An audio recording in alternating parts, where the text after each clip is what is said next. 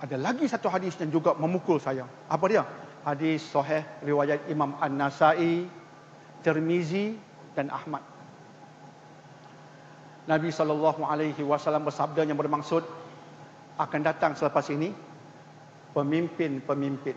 Ha, ini berkaitan negara tadi negara dan takwa kan.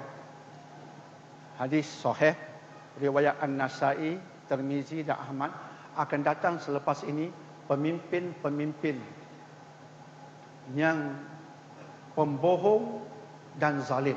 Dua ciri. Nabi sebut dua ciri ada pada pemimpin kemudian. Kemudian umum tak mustahil, kemudian termasuk hari ini termasuk selepas ini tapi ciri yang ada pada pemimpin kamu itu dua. Dia pembohong, cakap suka bohong, kelentong kelentong gologi dan buat zalim, buat nanya, buat nanya orang. Zalim.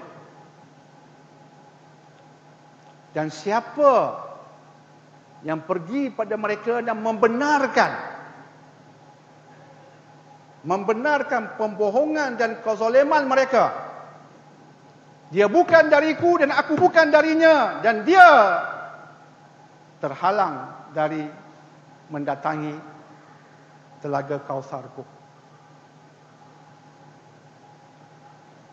meremang bulu rumah saya bila baca itu di atas studio huh tak pernah perasan hadis seumpama ini ada. Soheh pula tu tentang pemimpin. Pemimpin yang bersikap pembohong, zalim, you membenarkan mereka. Membenarkan mereka bahasa mudah kita sokonglah. Membenarkan mereka. Ya, ya, ya. Kepala dah macam tu. Ya, ya, ya. Sokong. You bukan dari saya, saya bukan dari kamu. Nabi tak mengaku umat. Ulama rumuskan, Nabi tak mengaku umat.